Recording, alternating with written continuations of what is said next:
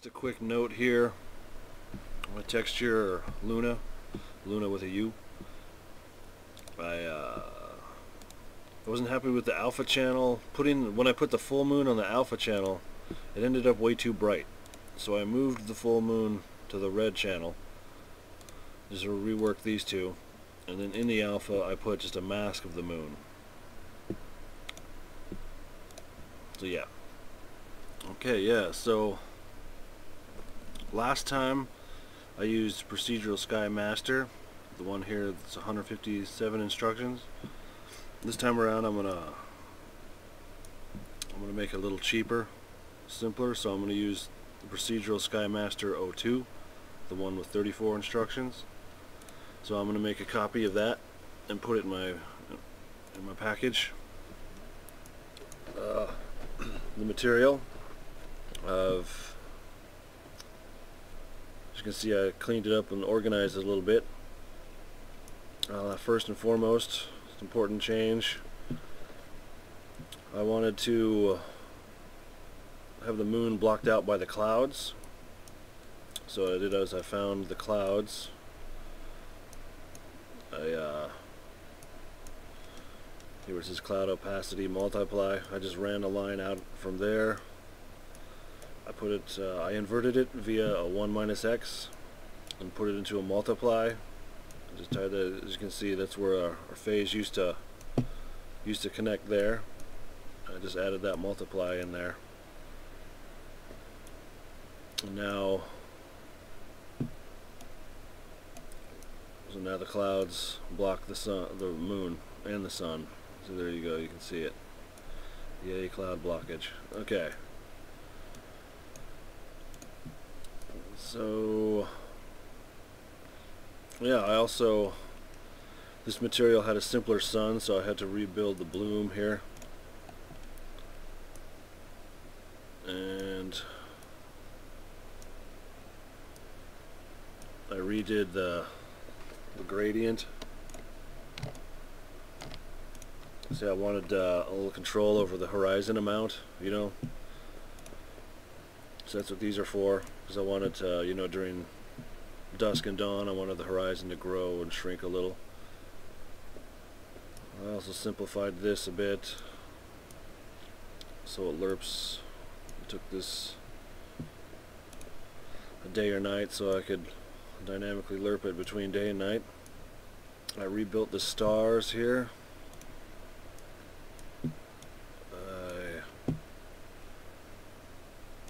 ran through texture so it goes to the right channel gave it a master tiling. As you remember I got a different one through a recolor channel so I just blended them together. And uh, yeah there we have it. I mean it was I really didn't do all that much. Just rebuilt this in the simpler material which I'm quite happy with because as you can see it's it has 61 instructions. The first one that we made here had 169 instructions. So yeah, 61 is definitely much better. As you can see with the shader complexity here, if we take the original and put it on there, it's much, much brighter. This is an instance of that one. So I can pop the stars up there day or night. So just run this up. Uh, now we've got some stars happening. So right now, I'm just going to turn a static switch so I can turn the the sun on and off, you know, for nighttime purposes.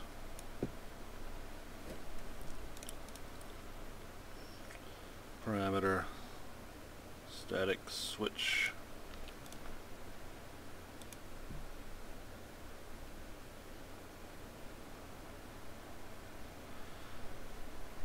So there we go.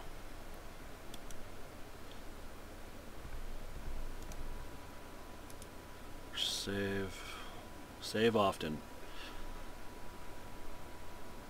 I've got to tell myself to save you know like in shooters, I gotta keep reminding myself to reload. Anyway. So now, I should attach it to this day or night, really, but for now, oh, of course I didn't name it, but anyway, I'm going to go back and name it, and this should turn the sun off.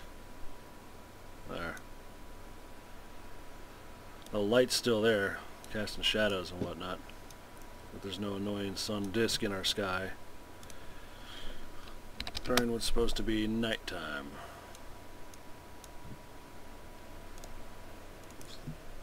So yeah, that's uh, where we sit now. The major issue issues that I was looking for are, are taken care of, but the two issues not taken care of are, as you can see, the sun or the moon does not eclipse the sun, and as I'm sure you figured out, the the moon cannot orbit. It's just stationary right there. So, at this point, I'm going to build another version of this. Also, as you can see, the stars kind of shine through the moon. It's uh, it's not too big of, big of a deal, but I'm going to take care of those three things with a new method. I'm going to have to to rebuild it from from the start, though. But this, uh, you know, this is a pretty efficient material. I'm pretty happy with it. And putting it out there should work for most others. From here on point, from this point forward, I'm just going to kind of blast through what I'm going to do with this other method, just for the few people out there who would like to have an eclipsing moon or a moon that drifts across the sky. Um, yeah. So there we have that. so here we are back in 3ds Max. Like I said, I'm just going to blast through this. Uh, so we're going to create a couple more. Well, first I'm going to create another sky dome, another sphere. And I'm going to make it 180 or I guess. And create a copy of that called Moon. I'm going to make it just smaller.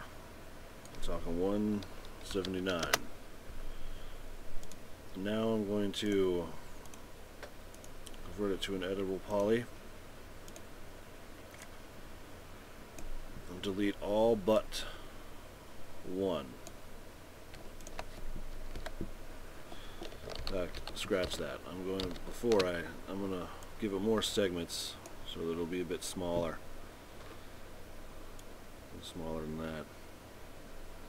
It's more like it. There. Now I'm going to delete all but one. I'm going to flip that one and I'm going to UV map it. It only needs one UV map channel and uh, see it has its pivot point right where it needs to fit perfectly inside this sphere and we can orbit it around move it and it'll eclipse the sun and all that.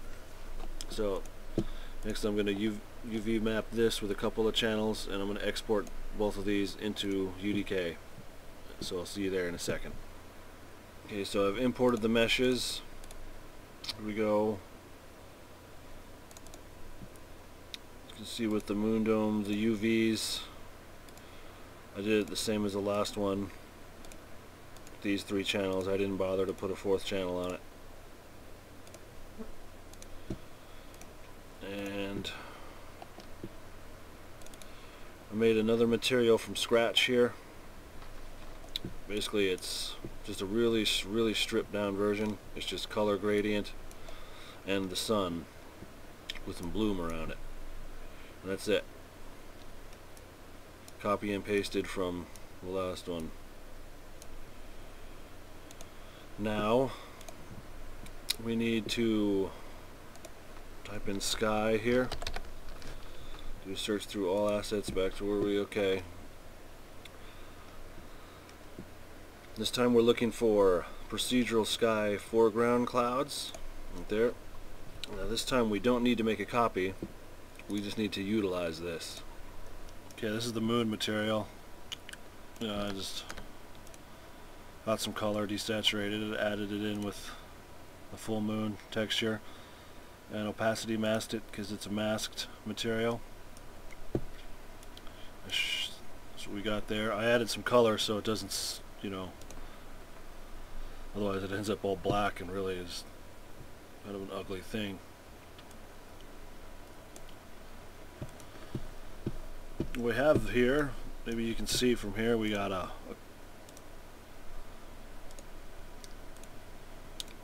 we got a cloud dome, one dome for the clouds that we we got the moon here.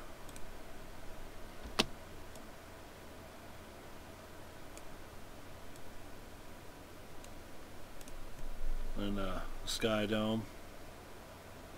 So two domes a little orbit moon here.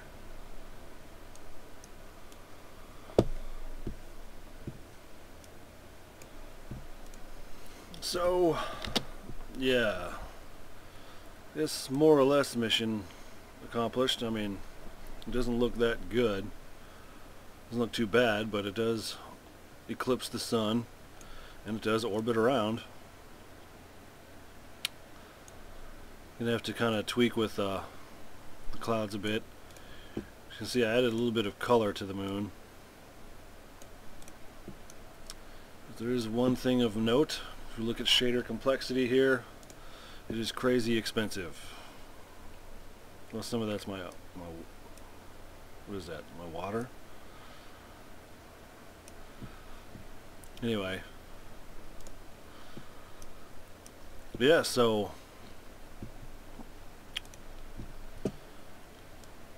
that's a, a working method for if you wanted to get an eclipse or a, an orbiting moon. I'm going to continue to tweak with these things and hopefully get back to you with another video before too long.